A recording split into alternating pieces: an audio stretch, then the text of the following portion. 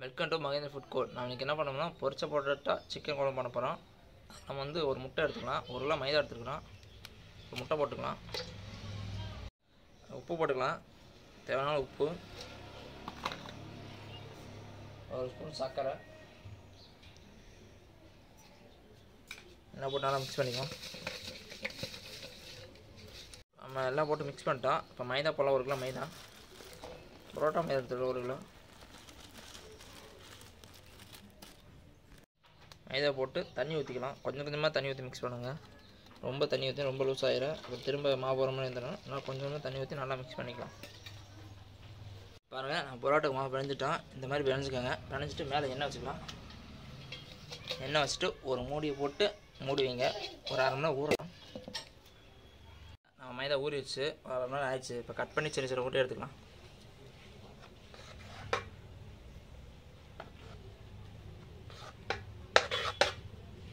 Cut பண்ணிட்டோம் இப்படி வைக்கங்க அமைட்டு இப்படி இந்த விரலுக்கு நடு அமுக்குங்க. இது நல்லா உருண்டை சூப்பராக வரும். பாருங்கள் இது மாதிரி இருக்கிற நம்ம மாவு எல்லாத்தையும் உருண்டை எடுத்து பிடிச்சி எடுத்துக்கலாம். நாங்கள் பரோட்டாக்கு உருண்டை பிடிச்சி எடுத்து வச்சிட்டோம். நம்ம எண்ணெய் வச்சுக்கலாம். ஆனால் பரோட்டாக்கு எண்ணெய் வச்சிட்டோம். எண்ணெய் வச்சுட்டு மாவுக்கு கையில் வச்சு அமைக்கங்க அப்படி வரலன்னா இப்படி சப்பாத்தி கடை எடுத்து லேசாக தேய்ச்சிக்கோங்க. தேய்ச்சிட்டு லேசாக எண்ணெய் வச்சு வச்சுக்கோங்க. ஒரு ஊறணும். உடனே தேய்ச்சிக்கன்னா வராது. நம்ம ஊற விட்டு தேய்க்கலாம். பாருங்கள் நம்ம தேய்ச்சி வச்சிட்டோம். தேய்ச்சி வச்சுட்டு இப்போ வந்து நம்ம பரோட்டாக்கு விசிறலாம். சப்பாத்தி எடுத்துக்கோங்க. இது பண்ணாலும் நல்லா தேய்ச்சிக்கோங்க.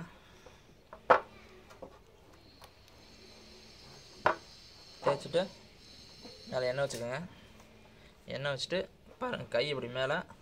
அதேமாதிரி இந்த கை இப்படி அடியில். பாருங்கள் அவ்வளோதான் அப்படியே முள்ளமாக வச்சுருங்க. இந்த கை பிடிச்சிட்டு இந்த கை திரும்ப வைக்க வந்துடணும். பாருங்க.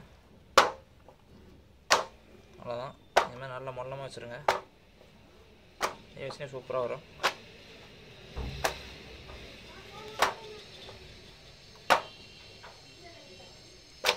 பாருங்க அவ்வளோதான் நம்ம இதில் சுட்டலாம். அது கையில் உள்ளங்கையில் வச்சுட்டு சுற்றுங்க அவ்வளோதான் பாருங்கள் அவ்வளோதான் இந்த மாதிரி நம்மளுக்கு எல்லாத்தையும் விசிறி எடுத்து வச்சுக்கலாம். பாருங்கள் நம்ம பரோட்டாலாம் விசில் எடுத்துட்டோம். இப்போ வந்து நம்ம தட்டி எண்ணெயில் போட்டு பொரிச்சு எடுக்கலாம். பாருங்கள் மேலே நம்ம பீட்டை எடுத்துக்கிட்டு இப்படி உள்ளங்கையில் ஒரு அமுக்கு அமைக்கங்க அமைக்கிட்டு நமக்கு இப்படி அமைக்க தகுந்த விரல் அமுக்கு தகுந்த இப்படி அமைக்கலாம் பாருங்கள்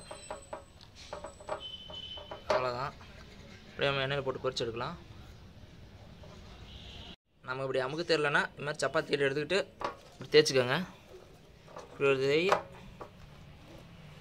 தேய் இது அவ்வளோதான் பாருங்கள் ரொம்ப ஈஸியாக பண்ணிடலாம். இப்போ வந்து இதை நம்ம எண்ணெயில் போட்டு பொறிச்சு எடுக்கலாம். பாருங்கள் நம்ம எண்ணெய் காஞ்சிருச்சு.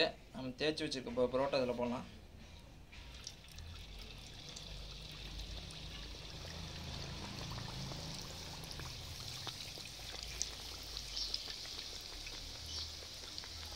அதனால் இப்போ நம்ம பரோட்டா ஒரு பக்கம் வந்துச்சு இந்த மாதிரி திருப்பி போடலாம். அவ்வளோதான் சீக்கிரம் ஆயிரும் சீக்கிரம் ரெடி பண்ணிடலாம். நம்ம வெந்தாலும் பரோட்டா எடுத்துடலாம். அதனால தான் நம்ம பரோட்டா வந்துடுச்சு பாருங்க அவ்வளோதான் நம்ம இது மாதிரி இருக்க நம்மளுக்கு எல்லா பரோட்டாவும் பொறிச்சு எடுக்கலாம். பாருங்க இப்போ நம்ம பரோட்டா தட்டி எடுத்துக்கலாம்.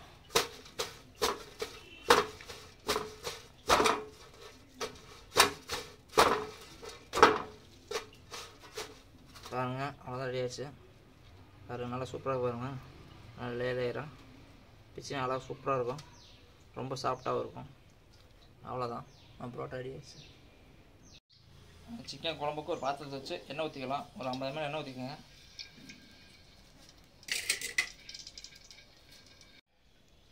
எண்ணெய் காஞ்சிருச்சு. கருவேப்பிலை போட்டோம் கருவேப்பிலை போட்டால் ஒரு நாலு வெங்காயம் வெட்டி வச்சுருக்கோம் பெரிய வெங்காயம்.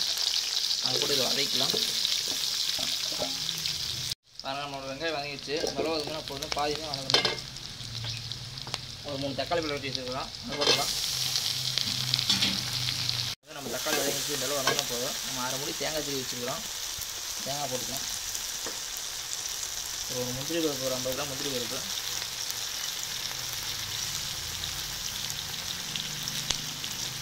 அதாவது முந்திரி பருப்பு ஐம்பது கிராமு அவ்வளோதான் இந்த போட்டு ஆற வச்சுட்டு மிக்சியில் போட்டு அரைச்சிக்கலாம். பாருங்கள் நம்ம பாத்திரம் வச்சுட்டு எண்ணெய் ஊற்றிக்கலாம் ஒரு ஐம்பது மணி எண்ணெய் ஊற்றிக்கோங்க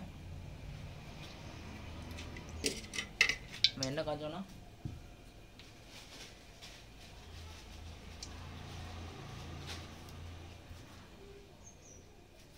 பட்டை போட்டுக்கோங்க. ஒரு ரெண்டு மூணு பட்டை. ஒரு நாலஞ்சு ஏலக்காய். நாலஞ்சு கிராம்பு.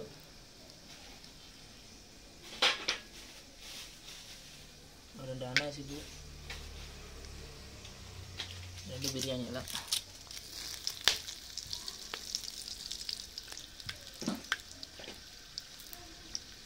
இஞ்சி பூண்டு பேஸ்ட் போட்டுக்கலாம்.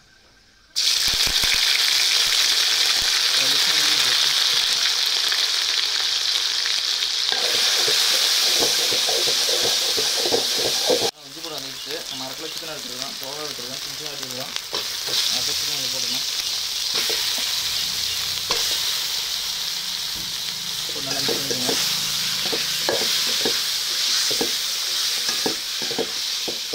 தேவையான மசாலா போடலாம். என்ன மஞ்சத்தூள்.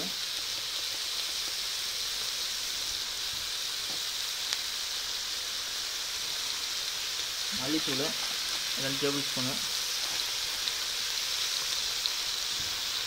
மிளகாத்தூள். அது ஒரு டேபிள் ஸ்பூனு. கறி மசால். அது ரெண்டு டேபிள் ஸ்பூனு தேங்காய் உப்பு இன்னும் நல்லா மிக்ஸ் பண்ணுங்க மிக்ஸ் பண்ணிட்டு தண்ணி ஊற்றிக்கலாம்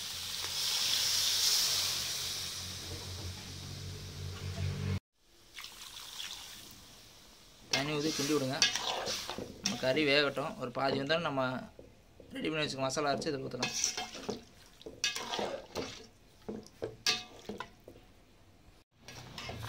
பாருங்க நம்ம சிக்கன் பாதி வந்துருச்சு.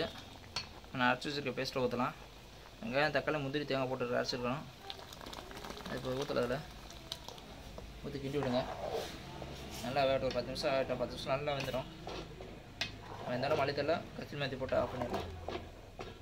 பாருங்க நம்மளுக்கு சிக்கன் குழம்பு ரெடி ஆயிடுச்சு அவ்வளோதான் அடித்து கொஞ்சமாக கொத்தமல்லி தலை கஸ்தூரி மேத்தி அவ்வளோதான் போட்டு மிக்ஸ் பண்ணிவிட்டு அடுப்பாக பண்ணிடுங்க அவ்வளோதான் சிக்கன் குழம்பு ரெடி ஆயிடுச்சு.